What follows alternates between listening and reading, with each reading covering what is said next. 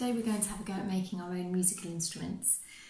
Music really helps with our well-being, whether it be listening to music or creating music. It can really help us to feel sort of a sense of joy or help us to express our emotions. So instruments are categorised into different families. You have different families of instruments. These are strings, brass, woodwinds and percussion. Percussion instruments are instruments that can be shaken, hit or scraped. And today we're going to have a go at making one that does all three. Okay, so this instrument can be shaken, scraped,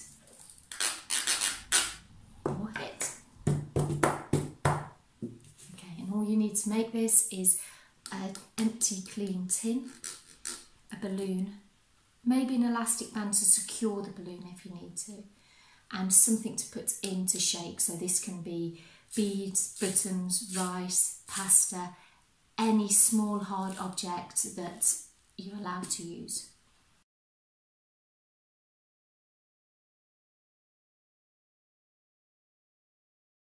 If you would like to, you can start by decorating your tin. I'm going to have a go at using a sponge and just some normal ready mix paint.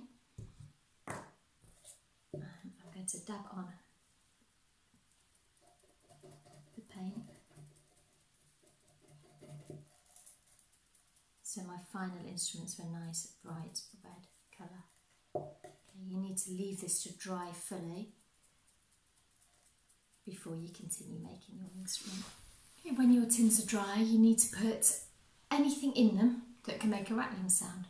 So you might want to use a little bit of pasta, you might want to use some rice, um, you might have some beads or buttons at home.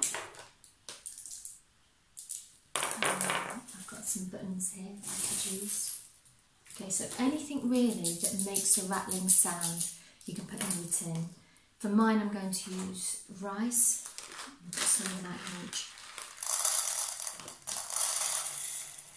If you want your tins to sound different, you could put rice in one and something else in the other maybe. And I'm just going to put a bit of sprinkling of rice in the bottom. You can experiment with this if you would like more rice. You can choose to. Next you need to cut the end off your balloon and then stretch the balloon over the tin. You need to pull the balloon as tightly as you can tighter the balloon, the more effective the sound. Um, you may um, need to use an elastic band just to tighten it a little bit more. Okay,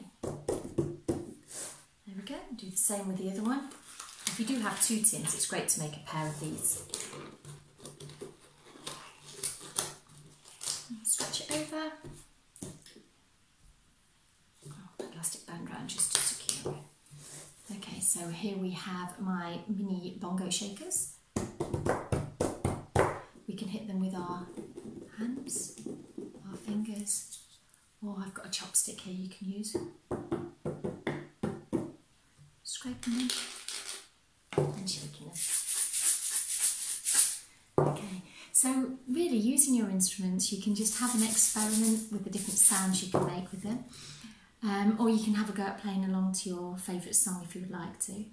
You can also do a call and response if somebody else in your family is playing with you.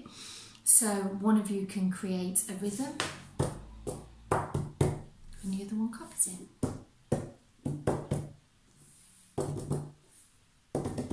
And you can make it as tricky as you want. Maybe you want to use a variety um, of sounds for your rhythms. You might do a